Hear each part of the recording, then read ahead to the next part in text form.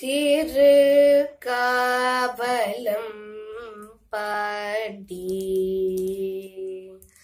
திரு காவலம் பாடி. திரு காவலம் பாடி. ராஜ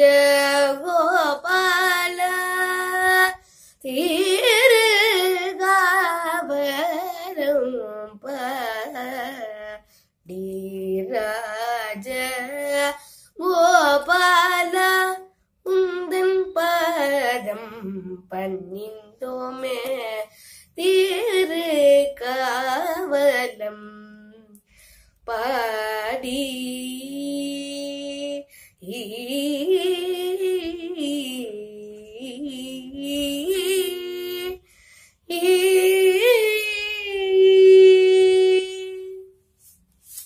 அனைவருக்கும் வணக்கம். Hariram KV channel காணொலியை காண வந்திருக்கும் அனைவரையும் வருக வருக என்று வரவேற்கிறேன். நேற்றைய தினம் இருபத்தி ஆறாவது திவ்ய தேசம் பார்த்தோம்.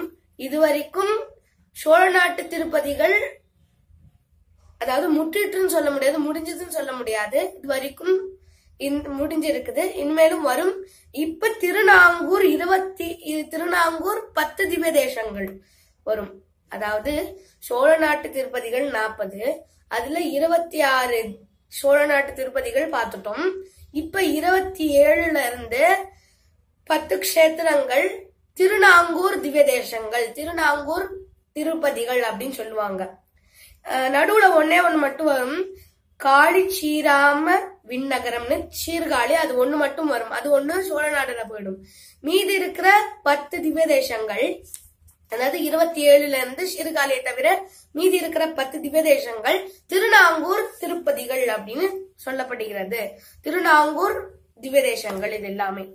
முதல் அதுல முதல் திவ்யதேசம் மொத்தம் திருநாங்கூர் திவ்யதேசங்கள்ல பத்து திவ்யதேசங்கள் அதனுடைய பேர் என்னென்ன அப்படிங்கறத பார்க்கலாம்.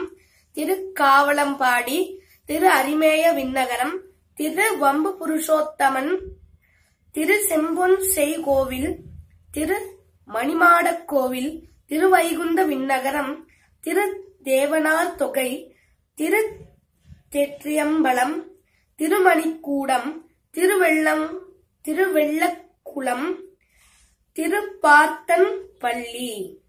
இந்த திவ்ய தேசங்கள் எல்லாம் நம்ம இனிமேல் பார்க்க போறோம். இந்த திருநாங்கூர் பத்து திவ்ய தேசங்கள்ல முதல் திவ்ய தேசம் சோழ நாட்டு திருப்பதிகள்ல இருபத்தி ஏழாவது திவ்ய தேசம் ஆகிய திருக்காவலம்பாடி அப்படிங்கிற திவ்யதேசத்தை பார்க்க போறோம்.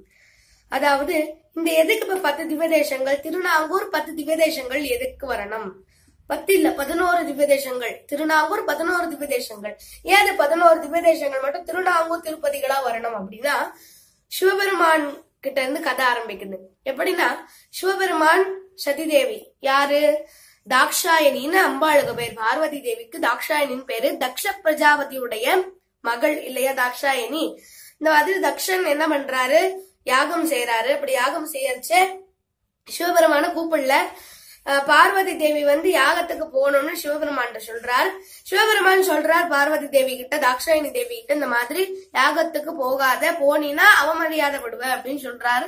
ஆனா சதி தேவி கேட்கல தாக்ஷாயணி தேவி கேட்கல அப்பா தானே பண்றார் அப்படின்னு சொல்லிட்டு அஹ், தாக்ஷாயணி தேவி பார்வதி தேவி போனால் போய் எக்ஸ போறா போறாங்க. யாகத்துக்கு போய் யாகத்துல சிவபெருமான கூப்பிடணும்னு போய் உங்க அப்பாக்கு தக்ஷாயணி தேவி எவ்வளவோ அறிவுரை சொல்றாங்க. ஆனா தக்ஷ பிரஜாபதி கேட்கல அதனால தற்கொலை பண்ற மாதிரி போயிடுச்சு. யாகத்திலே தாக்ஷாயணி தேவி விழுந்து இறந்து போயிட்டாங்க. வந்தது கோபம் ருத்ரக்கு ருத்ரர். சிவபெருமானுக்கு கோபம் வந்தது. தன்னுடைய சடை முடிய ஒவ்வொன்னா பிரிச்சு தட்டுனார் பூமியில. பதினோரு இடத்துல தட்டுறார். அந்த பதினோரு இடத்துல பதினோரு ருத்ரர்களா ஆவிர்வவிக்கிறாங்க. அந்த பதினோரு ருத்ரர்கள் தான் ஏகாதச ருத்ரர்கள். அதனாலதான் ருத்ர ருத்ரம் அதுல கூட ஏகாதச அணுவாக்கங்கள் இருக்கும்.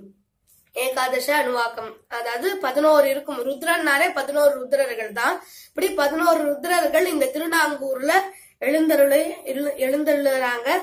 அப்படி இருக்கும்பொழுது அவங்களுடைய அந்த கோபத்தெல்லாம் எப்படி தணிக்கிறது அப்படின்னு எல்லாருமே போய் பகவான் பெருமாள்கிட்ட வேண்டுறாங்க விஷ்ணு பகவான்கிட்ட.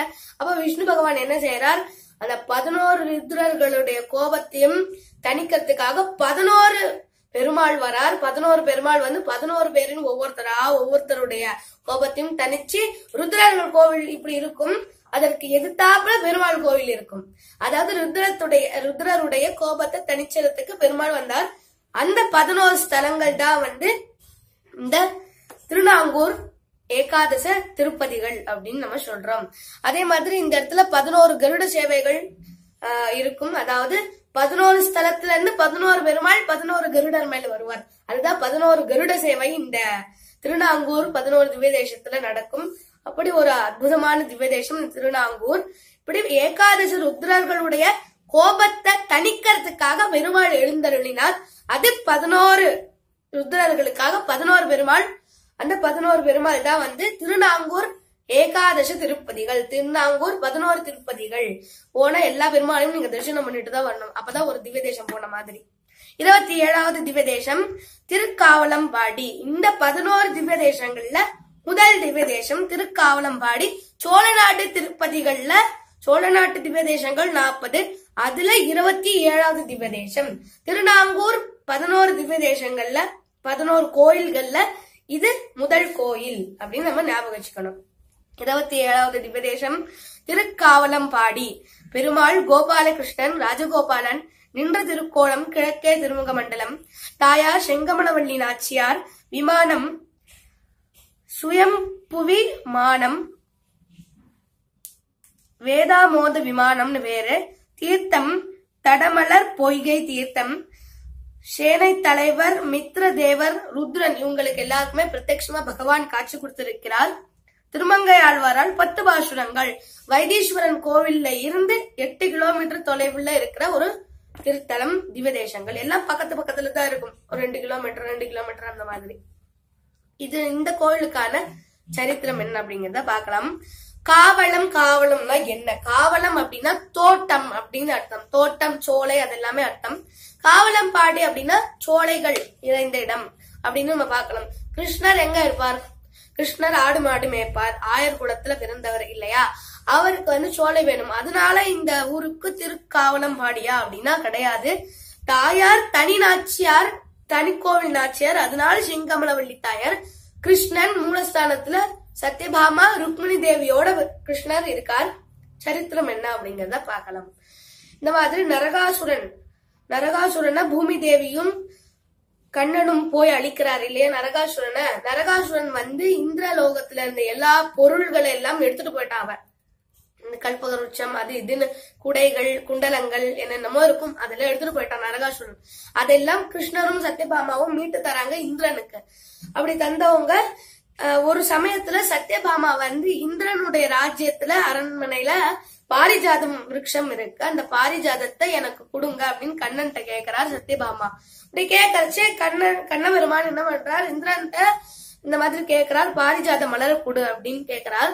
இந்திரன் பகவான் என்ன பண்ணணும்? சத்யபாமாவும் கிருஷ்ணனும் சேர்ந்து நம்மளுக்கு நிறைய பொருள்களை மீட்டு தந்திருக்காங்க. நம்மளும் திருப்பி தரணும்னு நினைக்கணுமா இல்லையோ? இந்திர பகவான் என்ன செஞ்சா? சண்டை போட்டார் கண்ணன் கிட்ட இந்த மாதிரி பாரிஜாத மலர் மேல்லோகத்துல எங்க லோகத்துலதான் இருக்கணும் சொர்க்கலோகத்துலதான் இருக்கணும் பூலோகத்துல இருக்கக்கூடாது அப்படின்னு சொன்னார். உடனே கிருஷ்ணனுக்கு கோபம் வந்தது. அங்க இருந்த காவலத்தையே அழிச்சிட்டார். அப்படின்னா அங்க இருந்த அந்த பாரிஜாத சோலையே அழிச்சிட்டார் அந்த தோட்டத்தையே அழிச்சிட்டார்.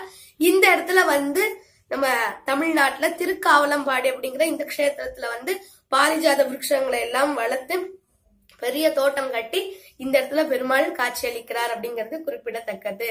அதாவது ஏகாதச ருத்ரர்களை ருத்ரர்களுடைய கோபத்தை அழிக்கிறதுக்கு ஒவ்வொரு ஊர்ல இருந்து பெருமாள் வந்தார். வடக்கே இருந்து அதாவது ஸ்ரீரங்கத்துல இருந்து பெருமாள் அஹ், காஞ்சிபுரத்துல இருந்து பெருமாள் அந்த மாதிரி பத்ரிகாசிரமத்துல இருந்து துவாரகா அயோத்தியா அந்த மாதிரி வேற வேற இடத்துல இருந்து பெருமாள் வந்தார். அப்படி வந்திருக்கார். இந்த கோவிலுக்கு எந்த பெருமாள் வந்தார் அப்படின்னா துவாரகாதீஷர் வந்திருக்கிறார். துவாரகாதீஷரான ஸ்ரீ கிருஷ்ண பெருமான் இந்த இடத்துல வந்து நம்மள எல்லாருக்குமே காட்சி கொடுக்கிறார் அப்படிங்கிறது குறிப்பிடத்தக்கது.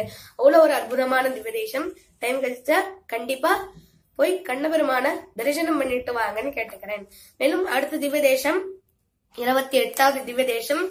காளி ஸ்ரீராம விண்ணகரம். சீர்காழி திவ்யதேசம். சீர்காழி கோவில். இது மட்- இது ஒண்ணு மட்டும் இந்த திருநாங்கூர் திவ்யதேசங்கள் ஏகாதசி திவ்யதேசங்கள்ல வராது. பதினோரு திவ்யதேசங்கள்ல சீர்காழி மட்டும் வராது. மீதி நம்ம பாக்குறது சீர்காழி நம்ம பாத்துட போறோம் அடுத்த தடவை. அதை விட்டுட்டு இந்த திருக்காவளம் பாடியோட இன்னும் இருக்கிற பத்து திவ்யதேசங்கள் பத்து கோயில்களை சேர்த்தா ஏகாதச திருப்பதிகள் அதாவது திருநாங்கூர் பதினோரு திருப்பதிகளை நம்ம தரிசனம் பண்ணலாம். எல்லாம் ஒரு சுத்து மாதிரி இருக்கும். ஏகாதசி ருத்ரர்கள் இந்த பக்கம் இருப்பாங்க இந்த பக்கம் பெருமாள் இருப்பார். பெருமாள் சிவபெருமானையும் தரிசனம் பண்ணலாம் பெருமாளையும் தரிசனம் பண்ணலாம். அப்படி ஒரு அற்புதமான திவ்யதேசம் இந்த திருநாங்கூர் பதினோரு திவ்யதேசங்கள். அதுல இன்றைய தினம் நம்ம முதல் கோவிலான இருபத்தி ஏழாவது திவ்யதேசத்தை தரிசனம் பண்ணியிருக்கோம். அடுத்த காணொலியில நம்ம அடுத்த திவ்யதேசத்தை பார்க்கலாம். அது வரைக்கும் ஜெய் சாய்ராம்.